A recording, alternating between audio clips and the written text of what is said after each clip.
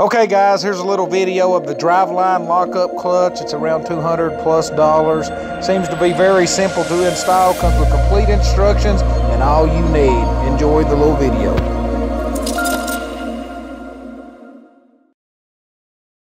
What's up guys? Welcome back to the channel. Let me get this camera on here. Alright. I didn't get to film this as we was putting it or as I was putting it together, but I'm kind of going to go over it. It's pretty simple. This is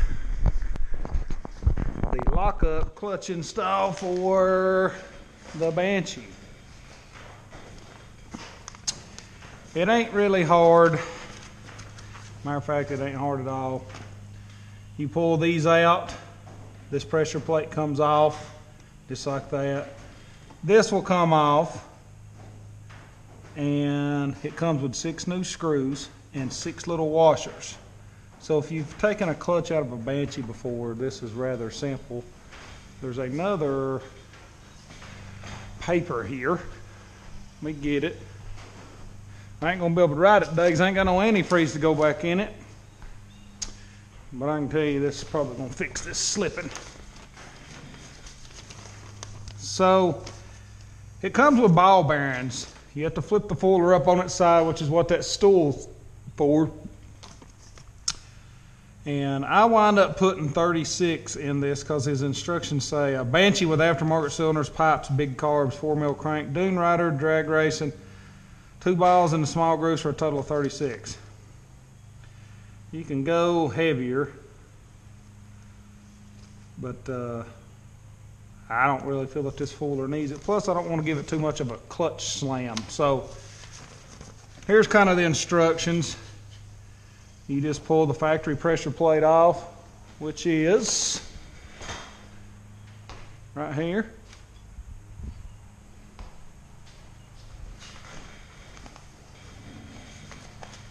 Just take that off. It ain't no big deal. Slip the new one on, which is this black piece here. Put the washers in it. You'll see them little washers right there. Flip it up on its side. Make sure it's seated. Put the plate in and put five bolts in. It's rather simple. And you adjust your clutch. And when it's all in, it will work just like a factory one. Here the ball bearings moving. Only thing I haven't done at the moment is grind the case down. So this is a drive line um, lockup. So what we got to do next is grind these three pits down in here. And that allows it to clear everything. I may have to buy me another, uh, I'm going to try to save this one. I doubt it's going to work, but it may. Yeah, I think it will. Check that out. May not have to buy another one. If I can get this off without ripping it. Yeah, looky there.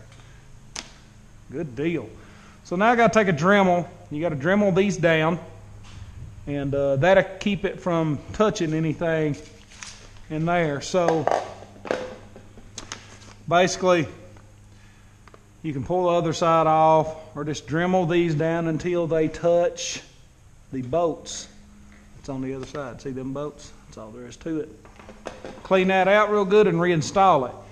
And uh, getting a lot of comments saying I need to do a little more videos working on the Banshee. Well, I should have filmed this putting it together, but it always winds up being a little more aggravating to put one together. There's the, putting a clutch in one's not aggravating. Getting this stupid nut right here adjusted is what's aggravating.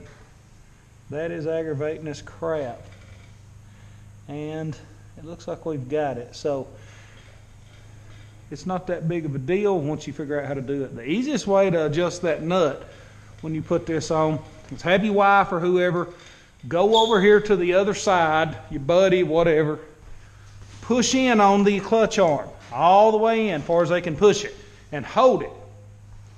You'll come back to this side and you'll break this nut loose, take an Allen head, stick it in it, and you'll turn this holding the nut until that person over there feels resistance. And then push it a little more until these two arms line up together on the clutch and the case. They need to be like this. So like this. Not like this, not like this, like this. Then tighten the jam nut back down. Okay, so once you get that adjusted on the other side to where the two markers for the clutch and the case are lining up, you just jam this nut down. This should be freely moving a little bit. If you wind up putting your new clutch in and there's no resistance on that clutch lever, you need to readjust this. And this happened to me, and I didn't take the ball or the rod out. It's not that big of a deal, so don't panic. Okay, tighten these bolts down tight as you can get them. These instructions are self-explanatory. I'm not going to go over all these instructions because if you order a Drivelines clutch, they come with it. So, the next step you have to do is pull these bolts out. These actual screws.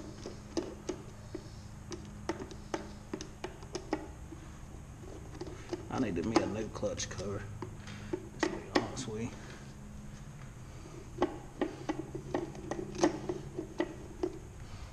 Once you get this out, let's just do this. It's, it's in there pretty good. It's been so long since I took that off. Got it's got a seal. Huh. Anyway, so now here you go. I'll read this side. The side cover modification. You must remove the three screws that hold the outer plastic cover on.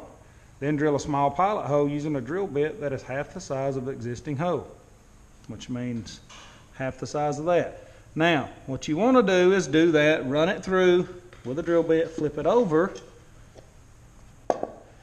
and then you'll look like this picture. It's hard to see, but there'll be three holes, there, there, and there, in these little tits. That's a pilot for another drill bit.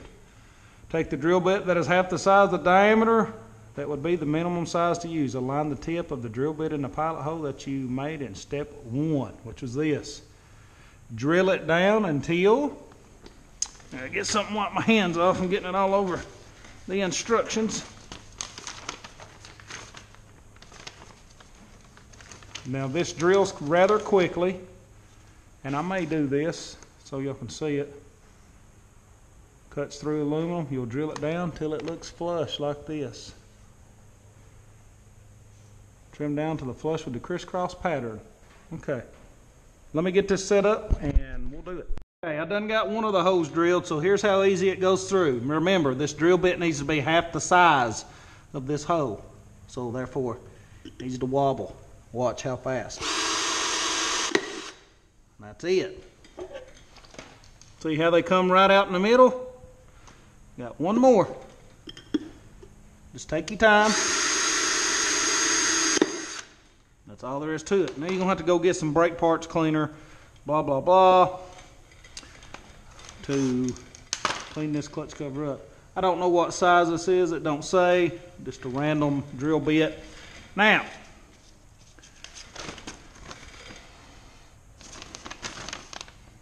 I'm just going by these instructions, kind of help y'all out to make a pretty good video here. You want to trim the three holes, three ball snubs down to the same level as a crisscross pattern on the floor of the side cover or trim down until you make contact with the screw that is holding the outside plastic cover plate, whichever happens first. So, pick you a good, remember that's just a pilot hole. That's all that is.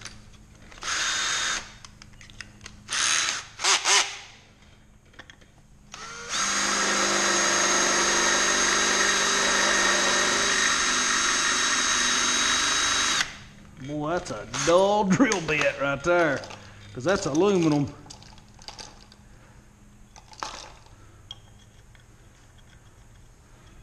Let's see what this one does.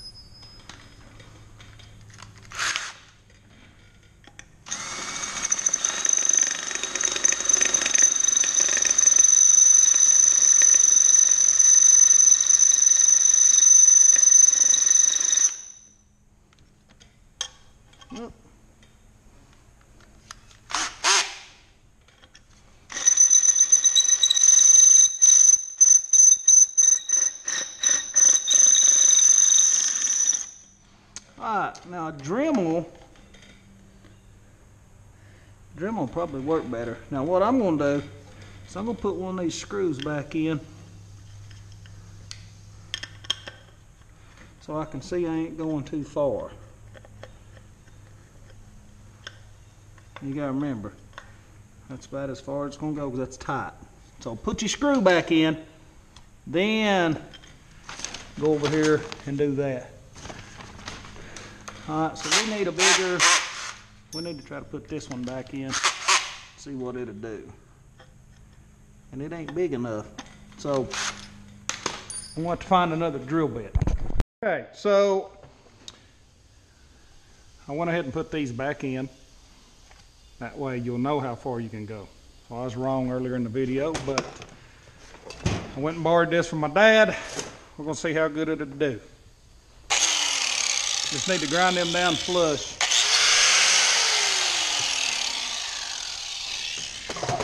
Alright. So we may need some uh, safety glasses on. I didn't figure it'd be like that, but let me see if I can find some real quick. Maybe go out here and yank some out of my mower if I got them here. The old Cub Cadet there. Well, I'll be dang. I don't. Might just have to do without, guys. I don't see any, so let me go over here and look in the toolbox real quick.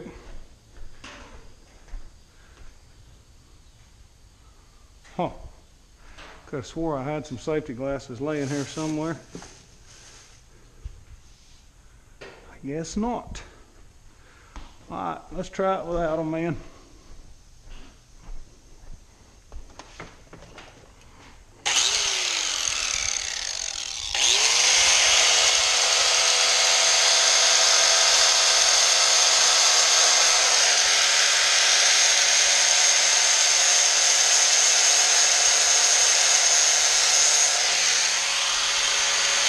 What you want.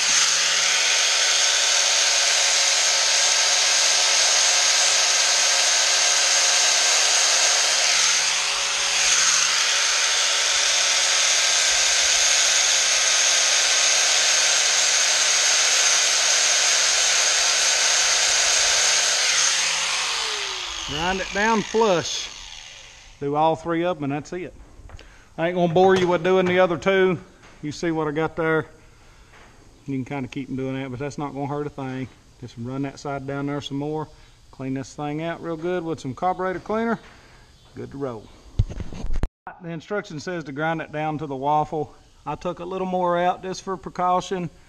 That's not gonna hurt a thing. And that's about what you got. You ready to reinstall.